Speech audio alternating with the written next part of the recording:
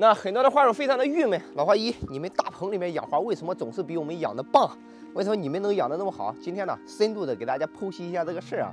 首先第一点就是时间，您有那个时间吗？啊，啊我们呀是靠着这个东西吃饭，我们每天都盯着它，什么时候缺水了，什么时候叶子黄了，我们会第一时间的去发现。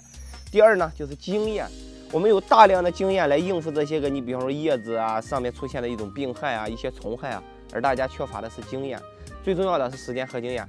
第三呢，就是硬件设施了，你像植物哈，好多的花友说啊，怎么怎么养，您要记住五个字啊，就是光水土气肥。首先第一点就是光照，你像我们棚里面。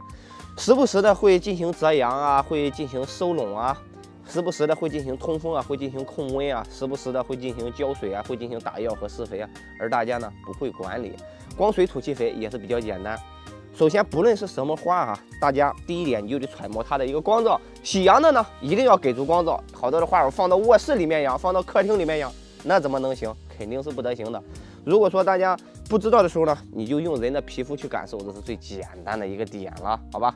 再一个呢，就浇水了。我们呢，就是一直一直在棚里面，不论养什么花，都是干了才浇，不干不浇。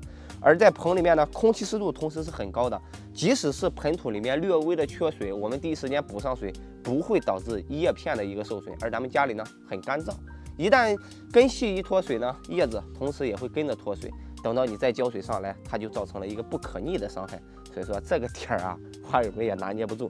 关于用土呢，就非常的简单啊，会非常的粗暴。像我们棚里面呢，现在都是在用一些个进口的泥炭土。有的话说为什么要进口？因为从地上挖犯法呀，非法采矿罪啊，没办法。呃，像东北那边也有这些类型的这种泥炭土，所以说你你们也要了解这个事儿。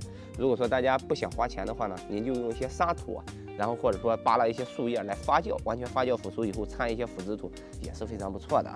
最后一个呢，就是给大家说一说肥料的事了。肥料呢，永远都那些事，只要用了泥炭土啊，你们就在那个农资店买一些那种便宜的复合肥，完全 OK 没问题。好了。希望花友们呢没事的时候多刷刷我的视频，没事的时候多积累一下经验，抽出一点时间来养自己的花，肯定会养得很棒。我是老花一，养花最专业，来了。